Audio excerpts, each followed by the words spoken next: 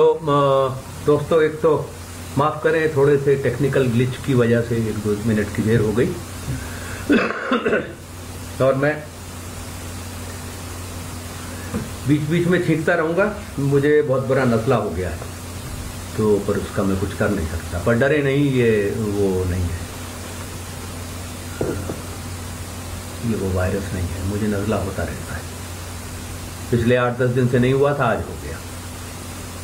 तो आज हम बात करने वाले हैं कि शहर क्या होता है। और इस मसले पे बात करने का प्रोवोकेशन कुछ यह है कि हमारे यहाँ कुछ स्मार्ट सिटीज़ बनाए जा रहे हैं। और नई दिल्ली को भी कुछ नया किए जाने की योजना है।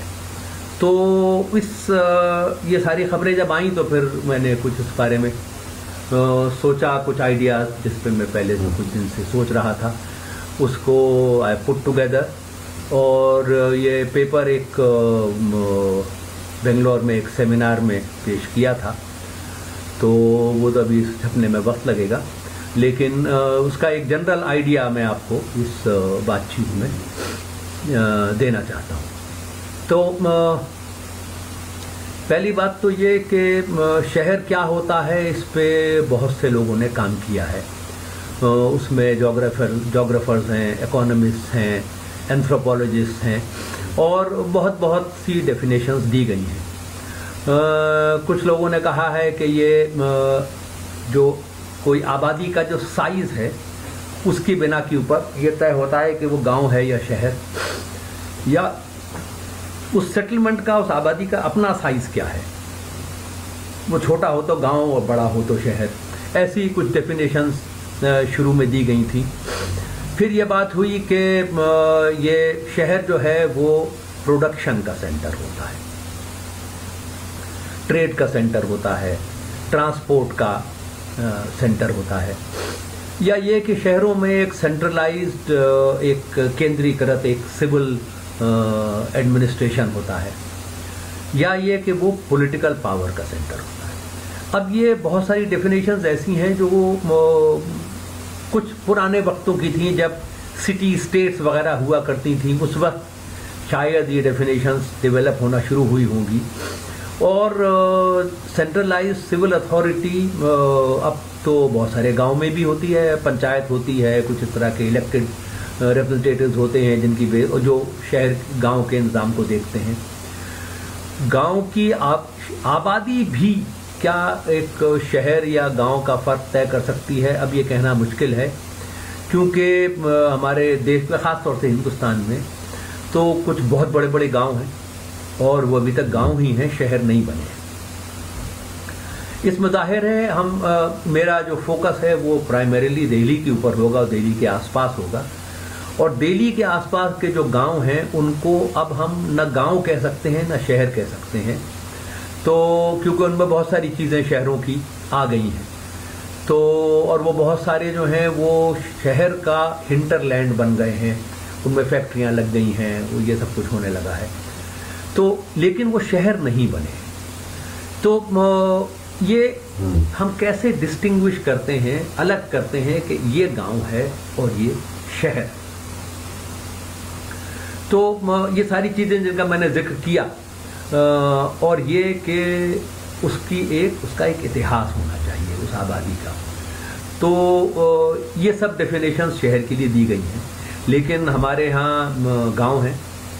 और दिल्ली में तो कुछ गाँव ऐसे हैं जो अब अर्बनाइज सिटी अर्बनाइज विलेजेस बन गए हैं, जो 800 साल, हज़ार साल पुराना उनका इतिहास हमको मिलता है कि वो जब से वो आबादी थी। तो लेकिन वो अब भी गाँव ही है।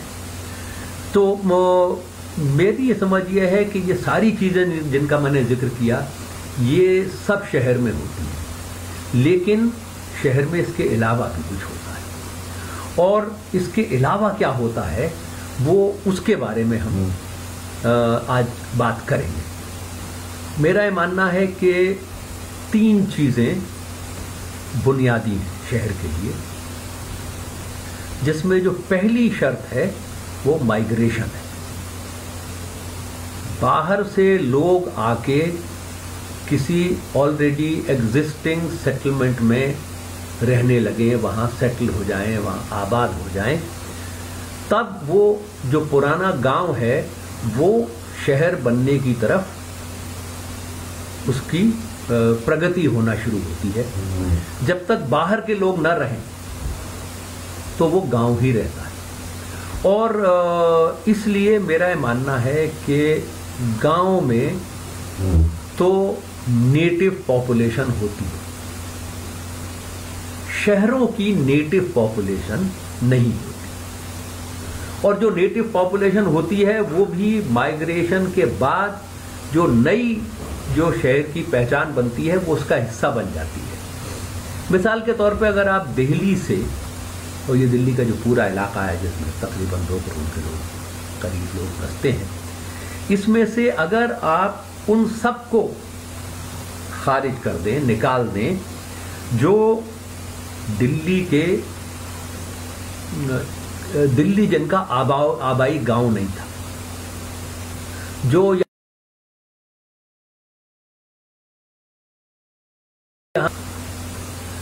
ऐसे लोगों को अगर आप निकाल दें तो क्या बचेगा?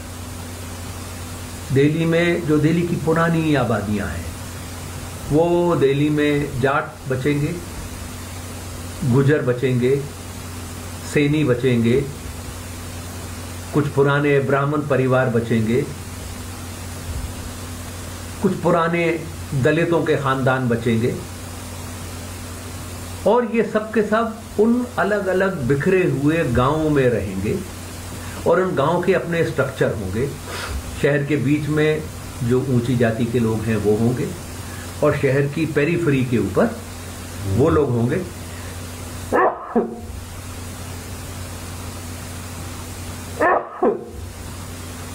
जिनको हमारे यहाँ नीची जातियाँ कहा जाता है। गाँव ऐसे ही बनते हैं। ऐसे ही इसी तरीके से हमारे मुल्क में गाँव होते हैं। शहर में जो शहर का पूरा स्ट्रक्चर है, वो ऐसा नहीं होता। वो एक मेरा ख्याल है चीज़ है जो अलग करती है शहर को और गाँव को। दूसरी चीज़ है जो इसका मैंने अभी ज़िक्र किया, वो माइग्रेशन बाहर के लोगों का। आकर बसना। और जब बाहर के लोग आते हैं तो बाहर से आने वाला हर नया इंसान, नया व्यक्ति जो आके एक शहर में बसता है, उस आबादी में बसता है, वो अपने साथ कुछ नए क्राफ्ट लेके आता है, कुछ नए खाने लेके आता है, कुछ खाना पकाने के नए तरीके लेके आता है, कुछ मसाले लेके आता है। कुछ ऐसी चीज़ें लेके आता है जो उस गाँव में पहले से तो होती थी, लेकिन उनका उस तरीके का इस्तेमाल नहीं। ये जब बाहर के लोग आके किसी बस्ती में बसते हैं तो वो अपने साथ नई चीज़ें लेके आते हैं। और ये नई चीज़ें और जो उस आबादी की पुरानी चीज़ें हैं वो मिलकर कुछ नया बना और इसलिए हम्म। इसको हम अंग्रेज़ी में अगर कहें तो ये एक कॉस्मोपोलिटनिज्म का की ग्रोथ होती है। और कॉस्मोपोलिटनिज्म जो है, वो शहर की पहली शर्त शहरों में ये नहीं हो सकता कि, और अगर किसी शहर में हो रहा है तो उस शहर को सीरियसली इसके बारे में सोचना चाहिए कि वो शहर से कहीं दोबारा गाँव की तरफ़ तो नहीं जा रही। इतिहास के पहिए को पीछे मोड़ने की कोशिश तो नहीं कर रहे। जिस दिन आप ये कहना शुरू करते हैं कि अगर आपको फला भाषा नहीं आती तो आप इस शहर के रहने वाले नहीं हैं। तो ये ये एक गंभीर मसला है। और शहर की तारीफ़ के लिए how do you describe the city इसमें एक ये बुनियादी चीज़ है कॉस्मोपोलिटिक विविधता, भाषा के स्तर पर, लिबास के स्तर पर कल्चरल एक्सप्रेशंस के स्तर के ऊपर जीवन शैलियों के स्तर के ऊपर विविधता होनी चाहिए। सब एक सार एक जैसा नहीं होना चाहिए। अगर एक जैसा है तो वो शहर नहीं है अलग अलग गाँव मिलके एक बड़ी आबादी बन रही है। जो सब अपने अपने हर, हर इलाके में लोग अपने गाँव के स्तर पर ही और गाँव की मेंटेलिटी को लेकर अभी तक रह रहे हैं। इसको अगर हम कोई एग्ज़ाम्पल दे के एक्सप्लेन करने की कोशिश करें तो मेरा ख्याल है कि हम दिल्ली को ले, लेके और मैं, क्योंकि दिल्ली के बारे में मेरा शहर है, या मैं बड़ा हुआ हूँ, और मैं दिल्ली को थोड़ा बहुत समझता हूँ तो मेरा ख्याल है कि अगर हम इसको दिल्ली के जो सात शहर कहलाते हैं, उनको लेके अगर हम देखें तो मेरा ख्याल है जो मैं बात करना चाह रहा हूँ, वो ज़्यादा आसानी से मैं आपके सामने रख पाऊँगा। ये कहा जाता है कि दिल्ली, सात, दिल्ली में सात शहर हैं। तो इस बात को आगे बढ़ने से पहले उनका साथों का हमें एक लिस्ट सूची आपको बता देते हैं। सबसे पहली जो आबादी थी वो महरौली, जिसे लालकोट भी कहते थे और किला राय पिथौरा भी कहते थे। लेकिन इसका पुराना नाम महरौली। उसके बाद, और ये राजधानी रहा तोमरों के वक्त में, और उसके बाद चौहानों के वक्त में, और उसके बाद फिर ये जो महमूद और गजना के बाद गुलाम जो स्लेव डायनेस्टी आई उनके वक्त में, उसके बाद खिलजियों का जो दूसरा खिलजी बादशाह था उसने सीरी की स्थापना की। और कहा जाता है कि सीरी दूसरी दूसरी दिल्ली थी। अब अगर हम ध्यान से देखें तो सीरी कभी भी शहर नहीं था और ना उसकी रचना शहर के तरीके से हुई। वो असल में फौज का कैंप था, वहाँ उसकी सारी फौज अलाउद्दीन खिलजी की वहाँ पर रहा करती थी। और उसको पानी की रिक्वायरमेंट पूरी करने के लिए हौस काजी, हौस खास बनाया गया जहाँ से यहाँ पर पानी की सप्लाई होती थी। और वो ये इसलिए था कि अलाउद्दीन खिलजी चाहता था कि उसकी सारी फौज एक जगह रहे, उसकी फौज का बड़ा हिस्सा, ताकि जब भी उसकी ज़रूरत हो, उसे क्विकली आसानी से मूव कर सके। लेकिन वो खुद उस पूरे दौरान महरौली, जो पुराना आबादी थी, लालकोट, वहाँ पे कंस्ट्रक्शन करता रहा और उसने हलाई दरवाज़ा बनाया और और अलग वो जो the so called Ashokan pillar जो आयरन पिलर है, वो वो सेंट्रल इंडिया से लेके आया और मध्य मध्य प्रदेश में उसने उसको यहाँ पे लगाया और बहुत सारे कंस्ट्रक्शन उसने अलाई मीनार बनाने शुरू किया। ये सब उसने किया। तो कंस्ट्रक्शन वहाँ हो रहे थे तो मेरा मानना है कि राजधानी, शहर तो बहरौली ही रहा।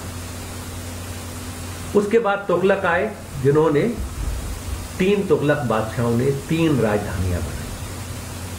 तुगलकाबाद जहांपना और फिरोजाबाद, जिसे हम लोग फिरोज शाह कोटला के नाम से जानते हैं, जिसका नाम अभी हा उसके नाम से एक क्रिकेट पवेलियन भी है, जिसका नाम अब बदल के जेटली साहब के नाम पर कर दिया गया क्योंकि वो अपने कॉलेज के साथ क्रिकेट खेला करते थे कॉलेज की तो तो फिर ये तीन तुगलकों ने बनाए। उसके बाद राजधानी दिल्ली से चली गई। फिर राजधानी लौट के आई हुमायूं के वक्त में और उसने पुराना किला बनाया। उसके बाद राजधानी फिर आगरे चली गई और फिर लौट के आई शाहजहां के वक्त में तो शाहजहानाबाद। और शाहजहानाबाद के बाद हम्म। अंग्रेज़ों ने 1912 में नई दिल्ली के निर्माण का काम शुरू किया। मेरा यह मानना है कि इन सात और अगर आप नई दिल्ली को जोड़ लें तो आठ राजधानियों में शहर बस दो। एक शहर था महरौली और दूसरा शहर था शाहजहां। ये दोनों शहर कैसे बने? इन दोनों के शहर बनने की जो पूरी की पूरी प्रक्रिया थी, वो एक अलग तरीके से दोनों शहर विकसित हुए। और इस पे हम थोड़ी देर बात करेंगे। और मेरा ख्याल है कि उससे मैं अपनी जो मैं बात आपसे कह रहा था कि वो शहर का जो बुनियादी स्ट्रक्चर है वो उसका कॉस्मोपोलिटन होना ज़रूरी तो महरौली कैसे शहर बना इसके बारे में बातचीत से हम इस, इस, इस, शुरू में हम महरौली को लेकर बातचीत करते हैं। तो जैसा मैंने अभी आपसे अर्ज़ किया कि महरौली का जो इलाका है, वो तोमर और चौहानों के राजाओं, शासकों के वक्त से ये इलाका यहाँ पे आबादी थी और ये राजधानी की तरह इस्तेमाल हो रहा था। ये इलाका और जो सूरजकुंड का इलाका है इस पूरे इलाके में, यहाँ पे उन्होंने निर्माण किए। यहीं पर पृथ्वीराज चौहान जब दूसरी बैटल में हारे the second battle of Tarain तो उसके बाद यहाँ पर गुलाम शासकों की सत्ता आई और उन्होंने लगभग सौ साल यहाँ पर राज किया। फिर तुगलकों के वक्त में राजधानी यहाँ से शिफ्ट हो गई। लेकिन यहाँ पे इस दौरान कुछ हम्म। और हुआ। जब ये तुगलकों जब ये कुतुबुद्दीन ऐबक और उसके बाद के जो शासक थे, उस वक्त में जब यहाँ राजधानी स्थापित हुई तो यहाँ बहुत सारे लोग बाहर से आके बसे। वैसे इनसे पहले भी जो तोमर यहाँ आके बसे थे और जो चौहान यहाँ आके बसे थे, वो भी दिल्ली वाले थे। पृथ्वीराज चौहान की तो राजधानी असल में अजमेर थी। और दिल्ली उनके प्रभाव क्षेत्र में था। संभव है उन्होंने किला यहाँ बनाया हो जिसका कोई ट्रेस अभी हमको नहीं मिलता है। एक इलाका जो किला राय पिथौरा कहलाता है, लेकिन उसमें जो सारा कंस्ट्रक्शन है, वो बाद का कंस्ट्रक्शन है, क्योंकि उसमें हम देखते हैं कि उसमें अनगढ़ पत्थरों के साथ चूना और ईंटों के गारे का इस्तेमाल किया गया है। और चूना और ईंटों का गारा हिंदुस्तान में मध्य एशियाई लोगों के आने के बाद से होना शुरू हुआ है। उसके पहले हम लोग चूना चूना तो इस्तेमाल करते थे गाड़ी की तरह से, लेकिन उसमें हम ईंटों का चूरा नहीं मिलाते उस दीवार में आपको कई जगह मेहराबें मिलती हैं, और मेहराबें भी हिंदुस्तान में बारह से पहले नहीं थी, और पृथ्वीराज चौहान ग्यारह सौ बानवे में हार गए। तो ये जो निर्माण हो रहा है, ये निर्माण मध्य एशिया के लोगों के आने के बाद यहाँ होता है, जिसमें निर्माण की ये टेक्निक इस्तेमाल होती है। अनगढ़ पत्थरों का इस्तेमाल गारे और मलबे के मिक्स के, को मिलाकर किया जाने वाला कंस्ट्रक्शन ये एक चीज़ है जो मध्य एशिया के लोग लेके आए। मैं इस पे इतना ज़ोर इसलिए दे रहा हूँ कि ये निर्माण, इस निर्माण में चूने का बहुत इस्तेमाल चूना जैसा हमको प्रकृति में मिलता है, वो निर्माण में इस्तेमाल नहीं होता। उसे पकाना पड़ता है। उसे पकाने के लिए चूने की भट्टियाँ। और चूने की भट्टियों में जो आग बना, लगाई जाती है, उसका टेम्परेचर जब तक 1000 डिग्री सेंटीग्रेड तक न हो जाए, जब तक जो रॉ लाइमस्टोन होता है, वो टूट के ऐसा चूना नहीं बन जाता जिसको हम नहीं बनता, जब से इसको हम कंस्ट्रक्शन में इस्तेमाल कर सकें। तो ये चूने की भट्टियाँ बनी। उसके साथ साथ इस निर्माण में ईंटों का गारा इस्तेमाल होता तो ईंटें पकाने के लिए भट्टे बने। ये दो नई चीज़ें उत्तर भारत में, दिल्ली में, हिंदुस्तान में, मध्य एशियाइयों के साथ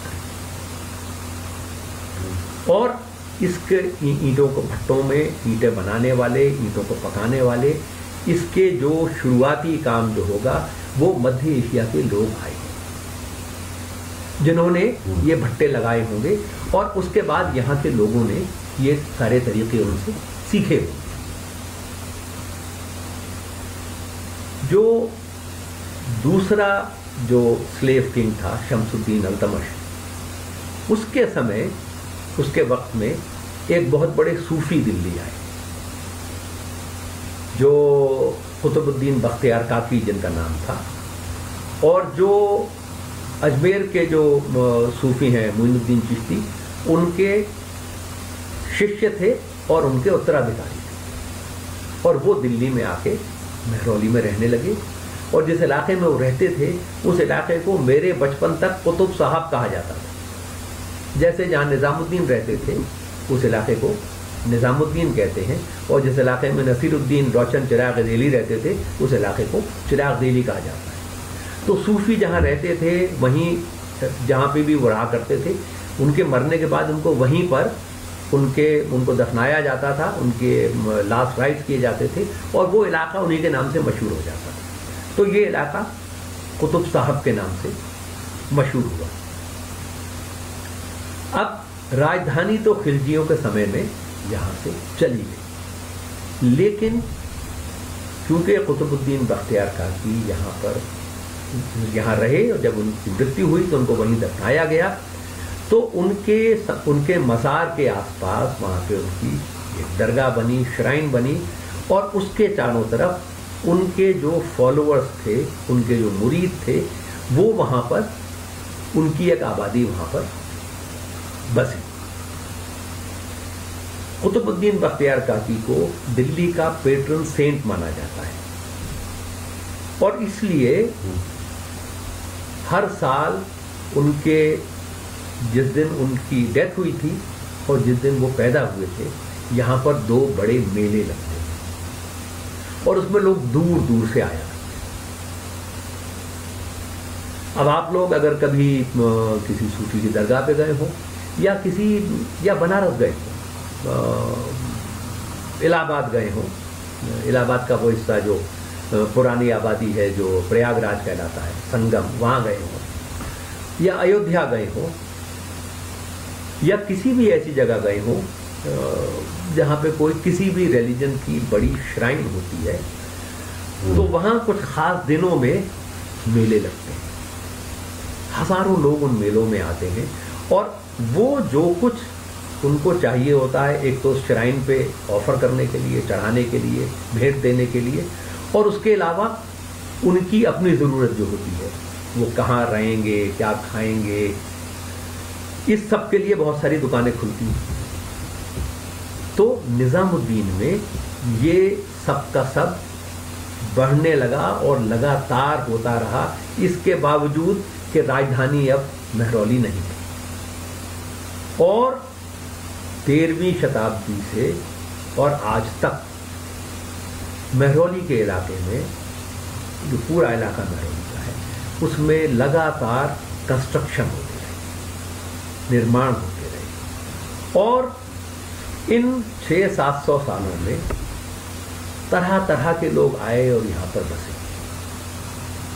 मैंने आपसे अर्ज़ किया था कि अलाउद्दीन खिलजी के के समय में यही इलाका उसकी राजधानी की तरह हुआ करता था। हमें इतिहास से पता चलता है और उसमें प्रोफेसर इरफान हबीब का बहुत बड़ा काम है कि अलाउद्दीन खिलजी के वक्त में वो हर साल अपने फौजियों को, अपने अफसरों को, अपने नोबल्स को, अपने जो बड़े बड़े उसके फौजी अफसर होते थे और जो विदेशी मेहमान उसके यहाँ आया करते थे अम्बेसडर्स आते थे दूसरे देशों से उन सबको वो रोब्स दिया करता था, जो रोब्स मेडिवल पीरियड में पहनी जाती थी। और ये रोब तरह तरह की होती ये कॉटन की होती थी सिल्क की होती थी कॉटन और सिल्क के मिक्सचर की होती थी। सिल्क और सिल्वर थ्रेड की सिल्क और गोल्ड थ्रेड की जिसे अतलस कहते थे किमखाब कहते थे मखमल कहते थे। इनमें मोती जड़े हुए होते थे, कुछ में प्रेशर स्टोन जड़े होते थे। इनके साथ साथ लोगों को पगड़ियाँ दी जाती जिसे दस्तार कहते थे जुब्बे दस्तार और पैराहन, ये दिए जाते थे। ये कश्मीर में जो फिरन पहनते हैं, वो इसी पैराहन का बिगड़ा हुआ रूप है। तो ये, इसके साथ साथ उनको और बहुत सारे प्रेजेंट दिए जाते थे। जिसमें मिसाल के तौर पर तलवारें होंगी जो फौजी अफसरों को दी जाती थी, या शहजादों को दी जाती थी, जो उसका सक्सेसर होने वाला है, उसका बेटा, भतीजा, उनको दी जाती थी। जो बाहर से मेहमान आते थे, उनको दी जाती थी। वो खंजर होते थे, जड़ाऊ, जिनके कवर होते थे, जिसके अंदर प्रेशर स्टोन लगे होते थे। ये सब का सब कहाँ बनता था? ये तलवारें, ये ढाल, ये ज़रा बख्तर ये कपड़े, ये दस्त, दस्तार, ये बहुत बड़े बड़े कारखाने थे और उन कारखानों में सैकड़ों, हज़ारों नहीं तो सैकड़ों मजदूर कारीगर काम करते थे। उसमें दर्जी होते थे, उसमें कपड़े काटने वाले होते थे, उसमें कढ़ाई करने वाले होते थे, उसमें कुंदन का काम करने वाले होते थे मोतियों पर काम करने वाले होते थे, जेवर बनाने वाले होते थे। तलवारें बनाने वाले, खंजर बनाने वाले, ये सब कारखाने थे जिनमें लोग काम किया इनमें बहुत सारी चीज़ें ऐसी थीं जो मध्य एशिया के लोग अपने साथ लाए। बहुत सारी नई तरकीबें थीं जो पुराने, जो हिंदुस्तान में जो चीज़ें थीं, उनके साथ मिल के नया कुछ होने लगा। तलवारों के अंदर सोने का तलवारों में खुदाई करके उसमें सोने का पानी भरा जाने लगा। उसके ऊपर टेक्स्ट लिखा जाने लगा। ये सबका सब जो था, ये जो बाहर के लोग आए थे, जिसमें ईरान के लोग थे अफ़गानिस्तान के लोग थे, इसमें पश्तो बोलने वाले थे, पख्तून बोलने वाले थे, इसमें दरी बोलने वाले थे, फारसी बोलने वाले थे, तुर्की बोलने वाले थे, और उज़्बेक बोलने वाले थे, और यहाँ उज़्बेक आए, ताजिक आए, ईरानी आए यूरानी आए, ये सब लोग आके यहाँ रह गए। इन सब लोगों के रहने और इन इन कारखानों में काम करते थे, वो दरबार में काम करते थे, वो छोटे बड़े पौधों पे काम करते थे और इसके साथ साथ सूफी की दरगाहों के ऊपर जो उनके भक्त थे, जो उनके मुरीद थे, वो आया करते थे और वो भी दूर दूर से आते थे। तो आप इमेजिन कीजिए कि ये सब का सब सैकड़ों साल वहाँ पर होता रहा।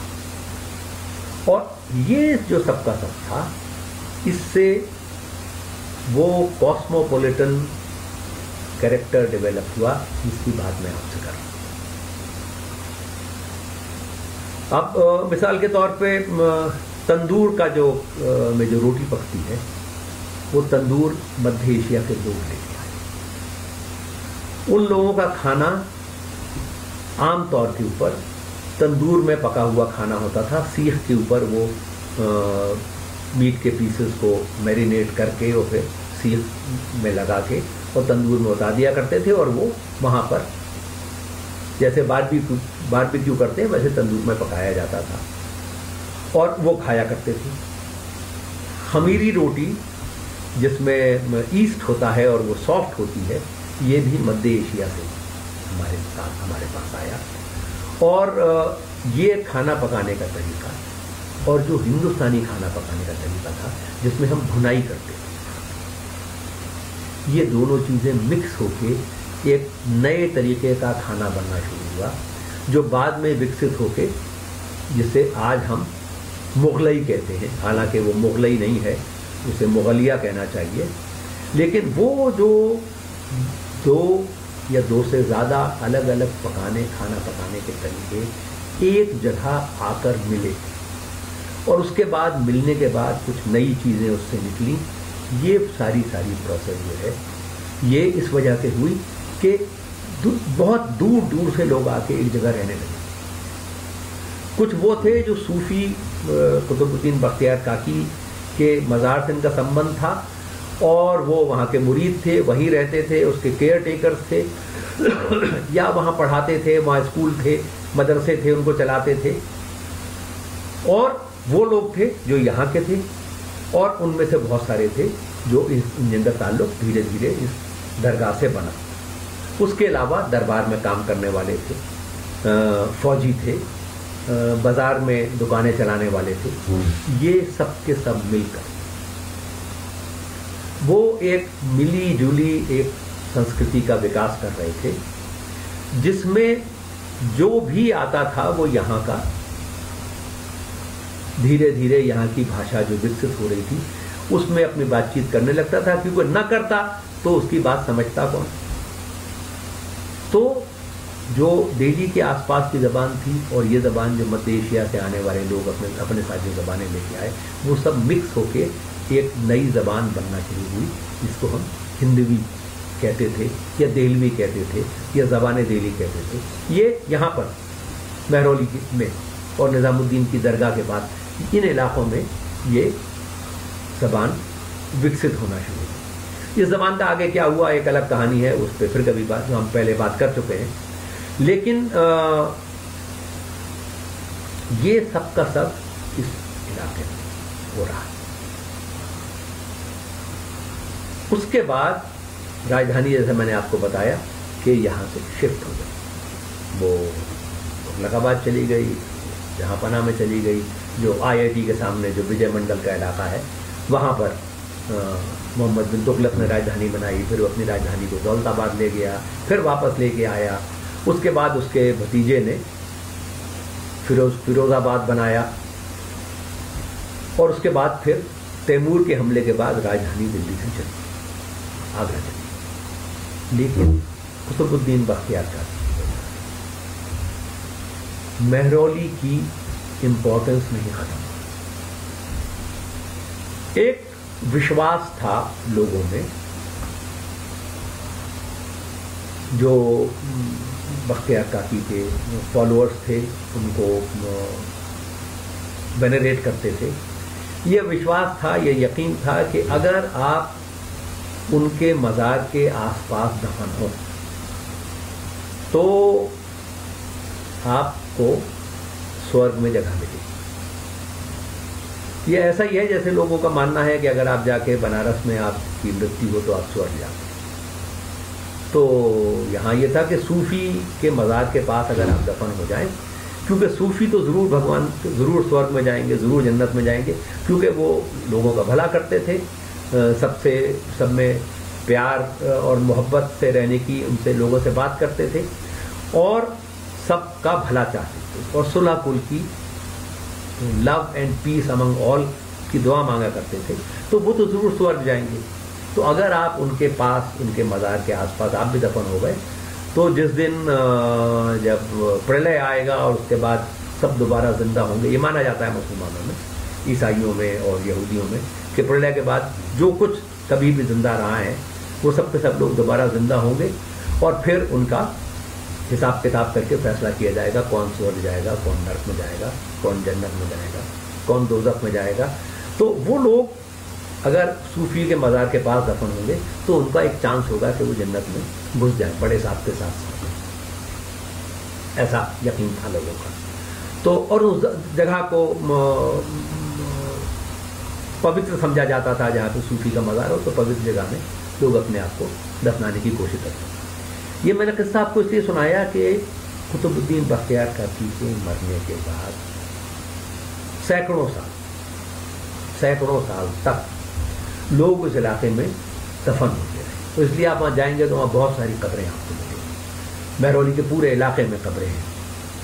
और लोग आते थे कुतुबुद्दीन बख्तियार का मज़ार के ऊपर। और क्योंकि यहाँ पे सैकड़ों, हज़ारों लोग हर साल आया करते थे तो जो दिल्ली के कोर्ट में और जब कोर्ट आगरा चला गया तब भी, और फिर जब दोबारा दिल्ली लौट के आया उस सारे वक्त में जो पैसे वाले मालदार लोग थे, वो इस इलाके में जो यात्री आते थे तीर्थ यात्री जिनको आप कह लीजिए, उनके, उनकी सुविधा के लिए यहाँ पर कंस्ट्रक्शन करवाते थे। तो यहाँ बावलियाँ बनी, यहाँ कुएँ बने, यहाँ सराएँ बनी, यहाँ बाग बने, ये सब के सब अगले सैकड़ों साल यहाँ पर बने।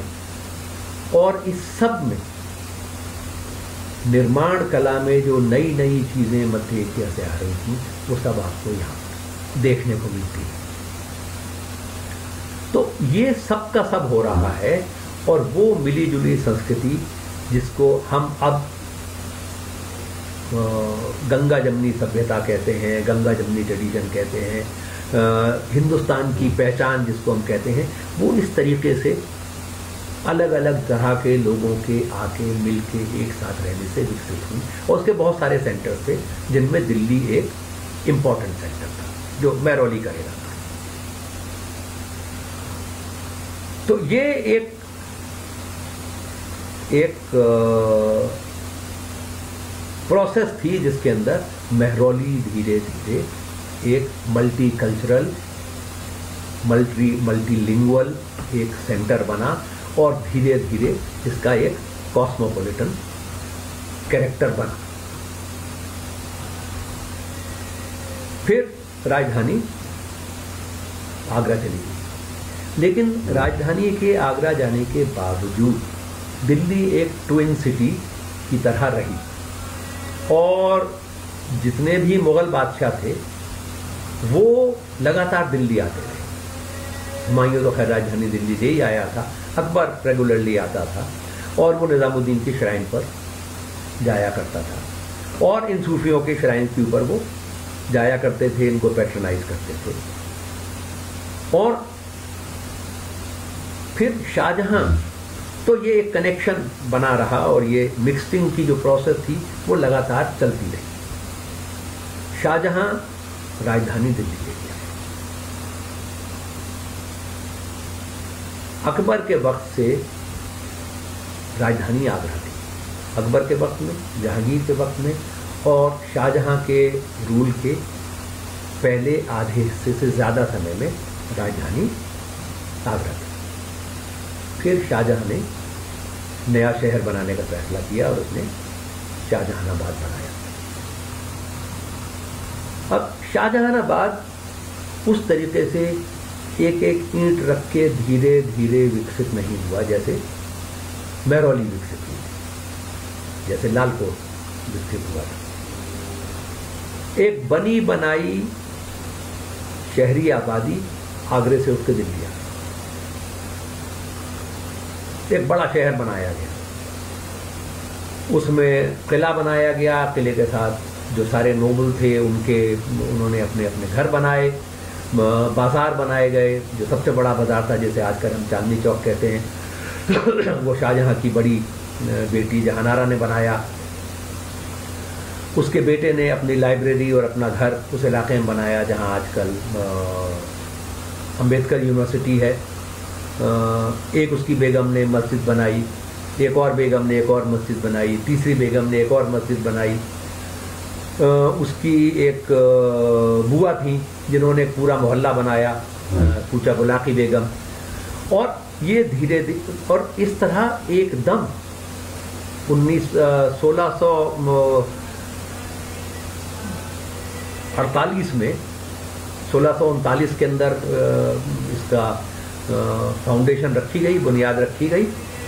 और सोलह सौ अड़तालीस में शहर का विधिवत उद्घाटन हुआ। शाहजहां के साथ बहुत सारे लोग आगरे से दिल्ली आ गए। वो सब लोग जिनका ताल्लुक कोर्ट से था, दरबार से था, वो दिल्ली आ गए। जैसे जब अंग्रेज़ राजधानी कलकत्ते दिल्ली लेके आए थे तो कलकत्ते से बहुत से जो कलकत्ते में, ऑफ़िस में बहुत सारे ऑब्वियसली क्योंकि राजधानी कलकत्ते में थी तो ऑफ़िस ऑफ़िस की ब्यूरोक्रेसी में बहुत सारे बंगाली लोग थे। और एक लार्ज स्केल मूवमेंट बंगालियों की दिल्ली में हुई 1912-13 में जब कश्मीरी गेट में पहली काड़ी वाली बनी और कश्मीरियों की आबादी बनी और चांदनी चौक में डॉक्टर एच सी सेन का क्लिनिक खुला। और ये ये, ये सब का सब जैसे 1912 में हुआ ऐसा ही सोलह सौ अड़तालीस में भी जो बहुत सारे लोग आए, उनमें एक बहुत बड़ी आबादी कश्मीर के लोगों और कश्मीरी पंडितों और वो इसलिए हुई क्योंकि बहुत सारे पुराने डॉक्यूमेंट, जो ख़ास तौर से मंदिरों के ओनरशिप के बारे में जो डॉक्यूमेंट थे, वो संस्कृत में थे। और कश्मीरी पंडितों का एक बड़ा हिस्सा ऐसा था, जिन्होंने बहुत जल्दी फारसी सीख ली। जैसे सिंध में एक बड़ा इलाका, एक एरिया था जहाँ पे लोगों ने फारसी सीखी थी। बहुत सारे मुल्तानी लोग थे जिन्होंने फारसी पढ़ी थी और यूपी में बहुत सारे कायस थे जिन्होंने फारसी पढ़ी थी। तो कायस्तों की, कश्मीरियों की, मुल्तानियों की, सिंधियों की, वो लोग जो आगरे के कोर्ट में थे, वो सब के सब दिल्ली शिफ्ट हुए। और बहुत सारे कश्मीरी पंडित कश्मीर से दिल्ली शिफ्ट हुए। जिसमें पंडित जवाहरलाल नेहरू के का परिवार था, जो हक्सर परिवार थे, वो यहाँ पर थे। कमला नेहरू का परिवार था, जो गली कश्मीरियान में रहता था। कुछ लोग कश्मीरी कटरे में थे। ये कुछ लोग जो ये काबरी दरवाज़ा था, उसके बाहर पंडित नेहरू और पंडित मोतीलाल नेहरू का परिवार वहाँ रहता था। और क्योंकि शहर में नहर वहाँ से आती थी तो वो नेहरू इसलिए कहलाए गए पंडित मोतीलाल नेहरू के फादर तक के समय तक वो कौल कहलाते थे। उनका नाम बंसीधर कौल था और वो अठारह में दिल्ली के कोतवाल थे। उनके बेटे थे मोतीलाल नेहरू। तो ये सब लोग दिल्ली आए और इनके साथ वो सारी की सारी उनकी अपनी भाषाएँ, संस्कृतियाँ, खाने के तरीके, वो सब के सब और वो सब के सब फिर दिल्ली में मिक्स हुए तो ये ये पूरी प्रोसेस थी और ये प्रोसेस शाहजहानाबाद में 300 साल थे। और अंग्रेज़ों के आने के बाद भी, जब वो राजधानी को आगरा ले गए तब तो कलकत्ता ले गए तब भी, और उसके तिरपन साल के बाद जब वो फिर लौट के आए तो शहर शाहजहानाबाद था। नई दिल्ली सिर्फ़ एक ऐसी जगह थी जहाँ पे लोग काम करने लगा नई दिल्ली में कोई रहता नहीं खैर, इसके बारे में दो मिनट के बाद बात करेंगे। तो ये 300 साल का वक्त 1648 से 1748 1848 1948 और उन्नीस सौ सत्तावन। अठारह सत्तावन। ये तो 1648 से 200 200 बरस के ऊपर ये और उसके बाद का भी समय जिसमें दिल्ली शहर की तरह कायम रहा बड़ा रहा, होता रहा, इसके बावजूद कि वो राजधानी नहीं रहा था। ठीक ऐसे ही जैसे महरौली लगातार बसता रहा, वहाँ कंस्ट्रक्शन होता रहा, लोग आके बसते रहे, इसके बावजूद कि वो राजधानी नहीं था।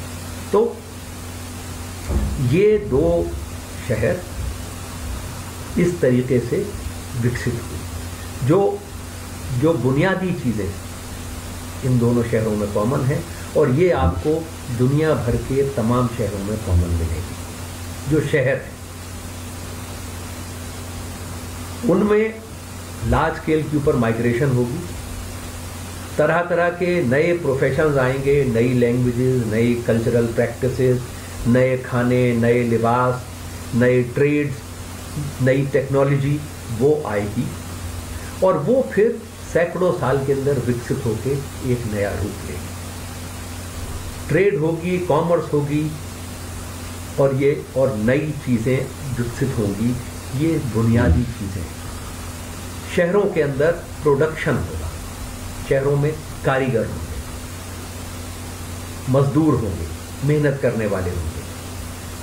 इन सब के बगैर शहर नहीं बनता। और अब हमारा समय ख़त्म हो रहा है तो मैं दो चार मिनट में आपको ये और बता दूँ कि मैं क्यों कहता हूँ कि नई दिल्ली शहर नहीं नई दिल्ली इसलिए शहर नहीं है कि इस शहर में कोई वर्किंग क्लास नहीं इस शहर में कुछ प्रोड्यूस नहीं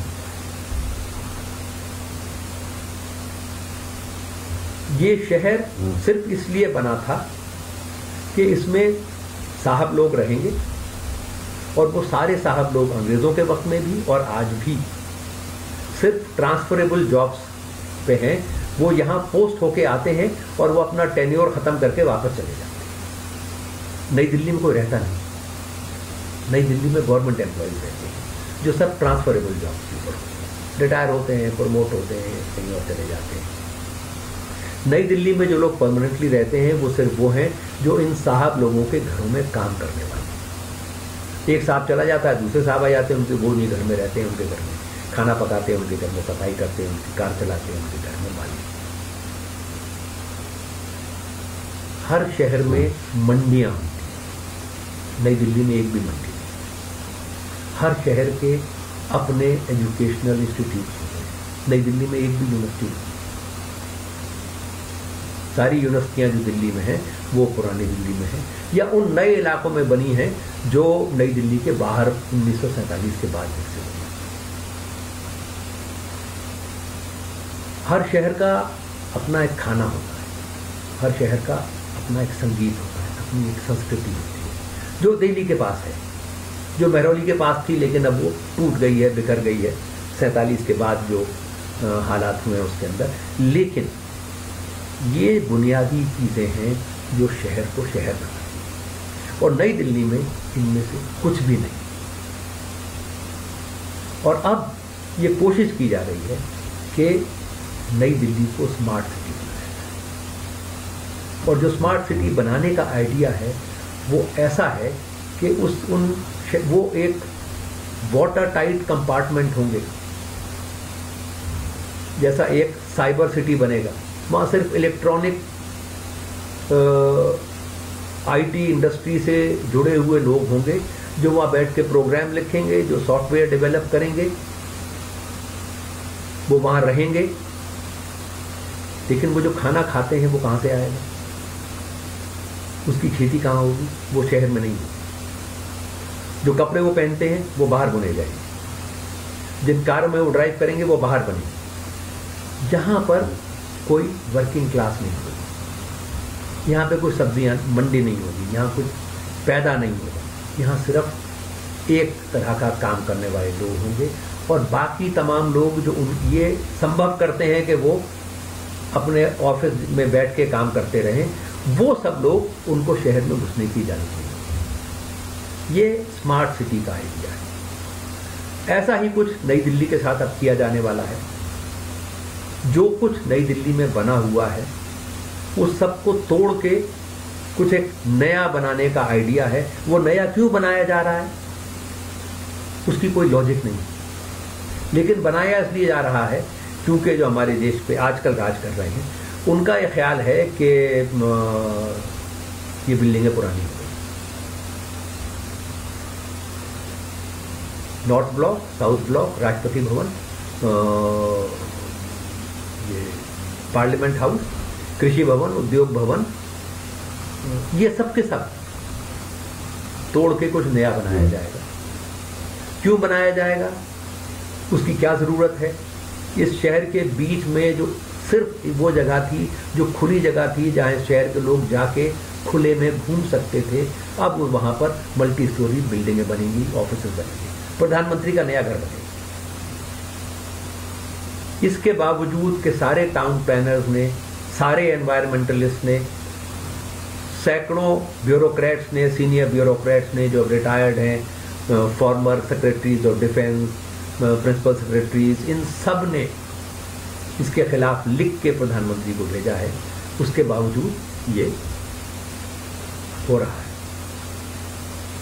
इस सवाल को मैं इसलिए रेज कर रहा हूँ क्योंकि ये जो हिस्टोरिकली दुनिया भर में जिस तरीके से शहर विकसित हुए हैं और उन्होंने अपनी पहचानें बनाई हैं, वो सबका सब ख़त्म किया जा रहा है। ये जो कोशिश है, ये इतिहास विरोधी है और इससे शहर नहीं बनेंगे। इससे वर्क स्टेशन बनेंगे। जिनमें न अपनी कोई आत्मा होगी, न जिनमें ज़िंदा इंसान सांस लेगा।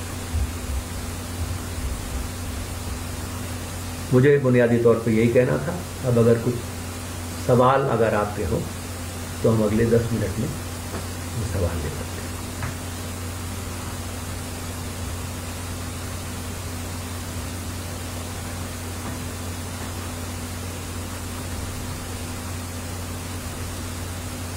राहुल प्रजापति पूछ रहे हैं कि शहरीकरण का पैमाना मूल निवासियों के विकास से होता है या फिर उसके लिए प्रवासियों का आना ज़रूरी होता है जैसा आपने बताया। देखिए मैं ये मैंने शुरू में कह दिया था कि शहर में मूल निवासी नहीं होते। मूल निवासी सिर्फ़ गाँव में होते हैं।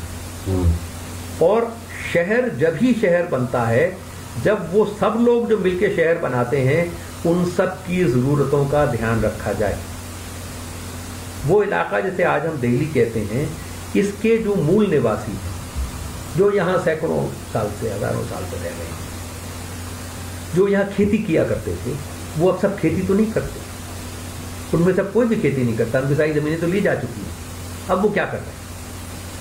अब वो दफ्तरों में नौकरी कर रहे हैं। वो छोटे मोटे कारोबार चला रहे हैं। वो ट्रांसपोर्ट में हैं।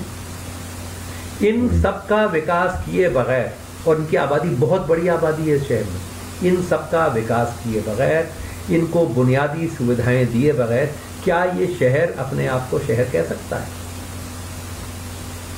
इनको शहर से बाहर रख के और केवल नई दिल्ली को शहर की तरफ़ पेश करके आप शहर नहीं बना रहे आप एक एक टापू बना रहे हैं सब, एक समृद्धि का एक टापू बना रहे हैं, जिसके चारों तरफ़ स्लम्स हैं। तो ये शहर नहीं है।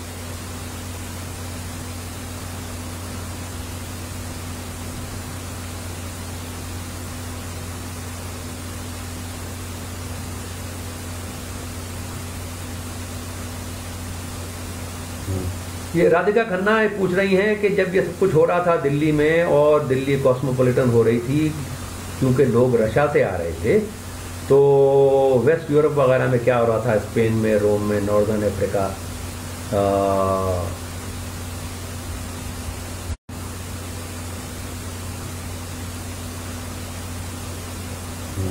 ये राधिका खन्ना पूछ रही हैं कि जब ये सब कुछ हो रहा था दिल्ली में और दिल्ली कॉस्मोपॉलिटन हो रही थी, क्योंकि लोग रशा से आ रहे थे तो वेस्ट यूरोप वगैरह में क्या हो रहा था? स्पेन में, रोम में, northern Africa?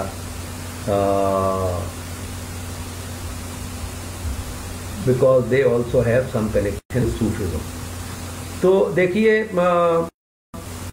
एक बहुत अच्छा एक मिसाल है। अगर आप चार्ल्स चार्ल्स डिकन्स के नॉवल पढ़ें इंग्लैंड के बारे में। ये वो वक्त है जब इंग्लैंड में अर्बनाइजेशन बड़े स्केल पे हो रहा है। उस वक्त आप देखिए कि गाँव के लोग कैसे शहरों में जा रहे हैं और शहरों में गाँव के लोगों का क्या हो रहा है। ये प्रोसेस अर्बनाइजेशन की जो प्रोसेस है, वो जो इंडस्ट्रियल रेवोल्यूशन के साथ जो अर्बनाइजेशन हुआ है, वो एक अलग प्रोसेस है। और जो मेडिवल सिटीज़ बनी हैं, वो प्रोसेस अलग है। लेकिन जो सूफियों का ताल्लुक है, वो स्पेन में, रोम में, वो वहाँ सूफियों का इतना ताल्लुक नहीं है, वो जो वहाँ जो स्पेन के ऊपर मुसलमानों का राज हो गया था। तो वो इस्लामिक इन्फ्लुएंस वहाँ पर है।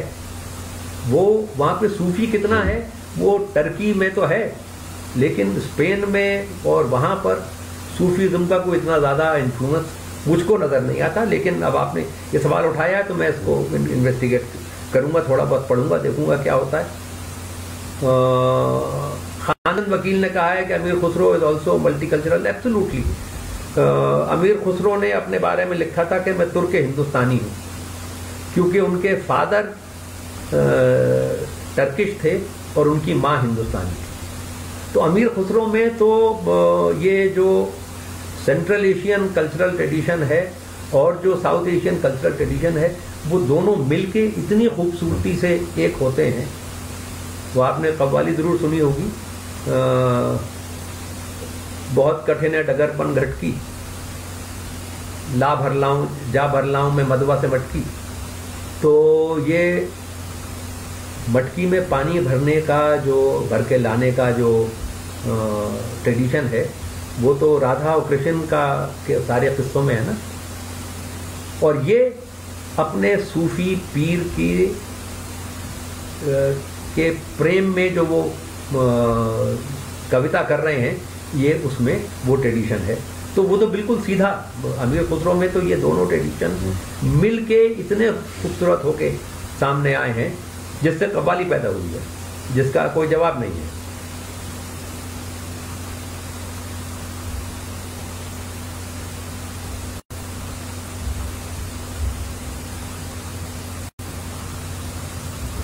अक्षत अग्रवाल पूछ रहे हैं कि how can the old rich traditions and processes of development be maintained along with globalisation and modern world which today are run by technology देखिए, ये मैंने आपसे अभी जो मैं मॉडर्न सिटी का ज़िक्र कर रहा था स्मार्ट सिटी का, वो जो खतरा है मैं उसी की तरफ़ इशारा करता हूँ कि अगर आपने वो बनाना शुरू कर दिया तो जो आपकी सारी कल्चरल रूट रूट्स हैं, जो कल्चरल मूरिंग्स हैं हमारी, वो डिस्ट्रॉय हो जाएँगी। और जो ग्लोबलाइजेशन की सारी बातचीत है, उसमें असल में क्या होता है? हम एटोमाइज हो रहे हैं। आपने देखा है, लोगों ने बातचीत करना बंद कर दिया है। एक कमरे में दस लोग बैठे होंगे, सब अपने अपने सेलफोन लगे होते हैं। तो ये ग्लोबलाइजेशन ये लोगों को इकट्ठा नहीं कर रहा। लोगों को बहुत छोटे छोटे सेल्स में, जैसे इसलिए इसके लिए एटोमाइजेशन का लफ्ज इस्तेमाल किया जाता है। छोटी छोटी इंडिपेंडेंट यूनिट्स में ब्रेक कर रहा है और वो सब के सब उस एक इंटरनेट से जुड़े हुए हैं, जिसको कोई एक मल्टीनेशनल कंट्रोल कर रहा है। तो ये जो आपकी अपनी जो रूट थी, उन सबसे कट के और आप एक उस मल्टीनेशनल के फैलाए हुए नेटवर्क का आप हिस्सा बन जाते हैं। तो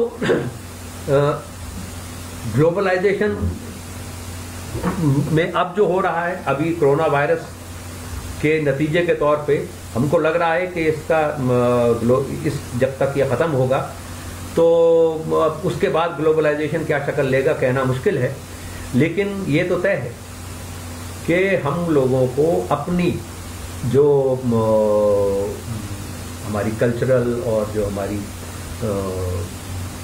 सांस्कृतिक जो हमारी रूट्स हैं हम्म। उनको उनको अगर हम जब तक उनको अगर हम टोटली छोड़ देंगे और सिर्फ़ हम ग्लोबलाइज वर्ल्ड का हिस्सा बन जाएँगे तो फिर हमारे लिए अपने आप से बात करना अपने आप को पहचानना ये समझना कि हम कौन हैं ये बड़ा मुश्किल हो जाएगा और हम तो खैर इस दौर से गुजर रहे हैं तो गुजर जाएँगे, लेकिन हमारे आने वाली पीढ़ियाँ हमारी संस्कृति से बिल्कुल कट जाएँगी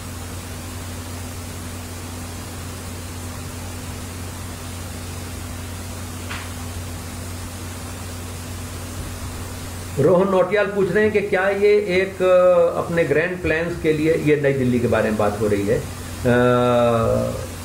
नई जगह कुछ नहीं कर सकती। अगर कुछ नया बनाना ही है तो मेरा ख्याल है कि ये नई जगह बना लेना चाहिए। ये बिल्डिंगें जो हमारे आज़ाद हिंदुस्तान की पहचान है। इनको क्यों तोड़ा जाए? नया कुछ बनाने के लिए पुराना क्यों तोड़ा जाए? और वो ऐसा भी नहीं कि वो गिर रहा हो।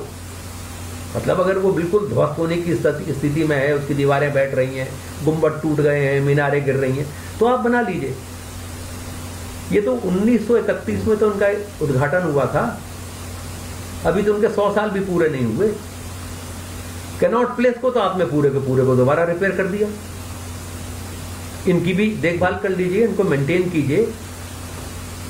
अभी मेरे पास समय नहीं है, वरना मैं आपको बताता कि French parliament British parliament American parliament ये तीनों जिन बिल्डिंगों से ऑपरेट कर रही हैं, वो सब की सब डेढ़ डेढ़ सौ, दो दो सौ साल कुछ उससे भी ज़्यादा पुरानी बिल्डिंग है। और वो, ये तीनों देश हमसे बहुत ज़्यादा समृद्ध समृद्ध हैं। हमसे बहुत ज़्यादा डेवलप्ड हैं। वो तो नहीं अपनी पार्लियामेंट बिल्डिंगों को तोड़ रहे। तो और और खास तौर पे आजकल ये बीस हज़ार करोड़ रुपए जो इस नए शहर को बनाने के लिए खर्च किए जा रहे हैं, नई दिल्ली राजपथ पे नया कंस्ट्रक्शन करने के लिए, ये बीस हज़ार करोड़ रुपए अगर आपको करने ही हैं तो पाँच साल के लिए टाल दी। अभी ये लोग जो सड़कों पे भूखे मर रहे हैं, जो अपने गाँव जाना चाहते हैं, क्योंकि उनकी फैक्ट्रियाँ बंद हो गई हैं, क्योंकि वो सड़कों पे हैं और लाइनों में खड़े हो के खाना मांग रहे हैं, दिन में एक वक्त खाना मिल रहा है और कुछ सैकड़ों मील पैदल जा रहे हैं। इनको उनके घर भेजने का प्रबंध कीजिए। ये बीस हज़ार करोड़ रुपए उसमें लगाइए। इन ये जो सारी उद्योग बैठ गए हैं इन ये बेचारे मजदूर जो हैं इनकी तनख्वाहें देने का इस दौरान का कुछ इंतज़ाम कीजिए बजाय इसके कि आप ये नया निर्माण करें।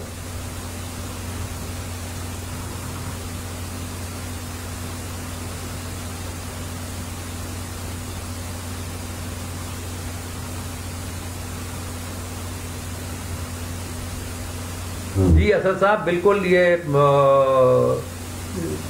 सूफीज़म का जो इन्फ्लुएंस है मोरक्को में और बर्बर कल्चर में, मैं थोड़ा बहुत उससे वाकिफ हूँ। मैं मोरक्को में काफ़ी समय घूम के आया हूँ और हमारे गाइड बर्बर थे तो मैंने ठीक ठाक उनके साथ घूमा है। मैं बहुत सारी श्राइन्स में गया हूँ। सेंट्रल एशिया में भी उज्बेकिस्तान में भी मैं बहुत सारी श्राइन्स में गया हूँ, जो हिंदुस्तान का नक्शबंदी ट्रेडिशन है।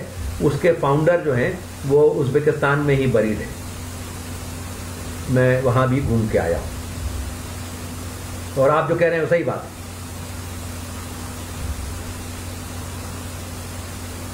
ऐतिहासिक धरोहरों को बचाने के लिए क्या किया जा सकता है या खानचंद वकील पूछ रहे हैं आ, इसके बारे में लंबी बातचीत करनी पड़ेगी। इसका दो मिनट में तो हल नहीं है। लेकिन एक मैं आपको बता दूँ कि कम से कम जो जितना पैसा हम ऐतिहासिक धरोहर को बचाने के लिए हमारे बजट में रखा जाता है, उसका कम से कम पाँच गुना, दस गुना तो होना चाहिए। दिल्ली में 2000 लिस्टेड स्ट्रक्चर्स हैं और उसमें से 200 केवल प्रोटेक्टेड हैं। और इन सबको बचाने के लिए साल भर में 6 करोड़ रुपया दिया जाता है। जिसमें इन इन प्रोटेक्टेड मॉन्यूमेंट में तीन वर्ल्ड हेरिटेज साइट्स हैं। तो मेरा ख्याल है पहली चीज़ तो यह है कि इसको बचाने के लिए और ज़्यादा पैसा दिया जाए। और दूसरा यह है कि आर्कियोलॉजिकल सर्वे ऑफ़ इंडिया को, का जो चीफ है, जो डायरेक्टर जनरल होता है, वो कोई आईएएस का बाबू होने के बजाय कोई सीनियर आर्कियोलॉजिस्ट होना चाहिए, जो वहाँ दशकों से नहीं भेजा गया। बाकी इसके बारे में फिर कभी मौका होगा तो बात करेंगे।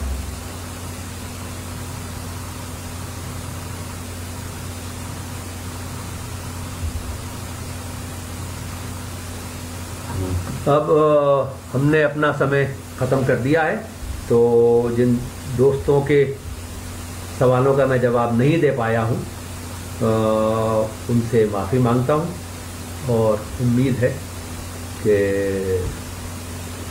फिर कभी मौका होगा तो इन सवालों की पर बात करेंगे। थैंक यू वेरी मच और कारवान के दोस्तों का बहुत बहुत शुक्रिया कि उन्होंने मुझको एक बार फिर आप सब लोगों से बातचीत करने का मौका दिया। Thank you